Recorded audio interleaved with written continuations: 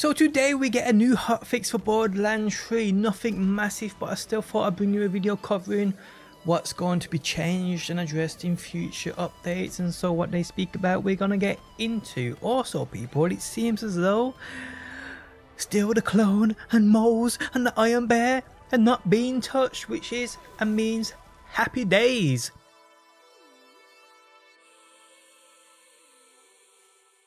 How's it going guys, my name's DPJ and today I'll bring you another BL3 video. If you do enjoy it, leaving a like really helps out. And subscribe if you do want to see more. Also before we go any further, for all your gaming needs, no matter the platform you play it on, amazing prices and incredible weekly deals, check out G2A, links within the video description.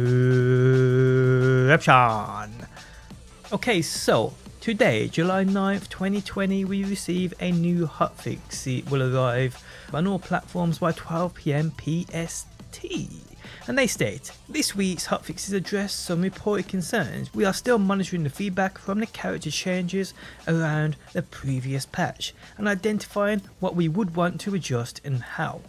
As usual, to apply hotfixes, wait at the main menu until you see that sign that says hotfixes applied. Okay, so some players have expressed an interest in shields that do damage to enemies being scaled with Mayhem. We are looking to add Mayhem scaling to those shields in a future update. While assessing we noticed that the change that allowed Mayhem gear to spawn in chests and vending machines also applies to the guns that spawn with enemies. This results in a Mayhem 10 enemy's weapon doing Mayhem 10 damage to its target. This wasn't initially intended and we are monitoring how this is affecting difficulty in higher levels of Mayhem and are looking into how it could be addressed in a future patch patched a hole in the atrium of the Bounty of Blood campaign add-on to prevent players from busting through the wall and seeing the other side, addressed a reported concern that some damage effects from Lucky 7 sometimes did not function after exiting Iron Bear. And that is the actual whole hotfix people for this week. And we are yet to see or hear of any changes that may be made to the Digiclone or Moze's Iron Bear. In actual fact, I've seen a lot of other builds like uh, Moxsy's recent melee build with Amara, which is just ridiculously stupid. I mean, if you haven't seen that, definitely check out his channel. It's one of the most powerful builds I have ever seen. And the way in which we know Gearbox do work, one would expect nerfs to hit these recently buffed uh, areas of the game i.e. the Digiclone, which is just crazy now with the correct build, Moze's Iron Bear, which is even more crazy, and melee builds in general and builds based around that melee and stacking efficient damage via melee and melee attacks.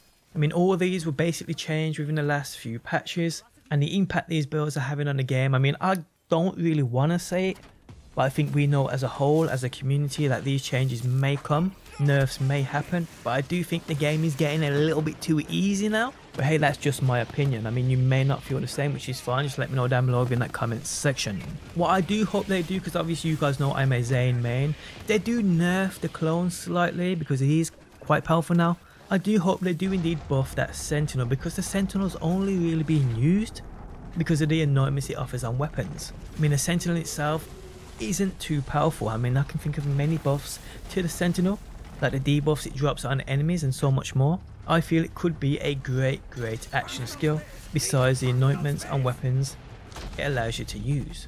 So yeah, although we've gone another week with no mention or changes to our beloved Vault Hunters and their crazy action skills, I still do personally think we will see changes in the future. But that's just my opinion. I mean, we've all played this game long enough now, we know how Gearbox roll.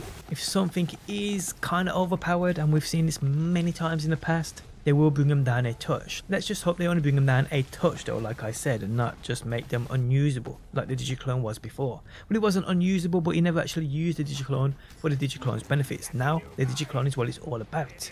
But we will see, people.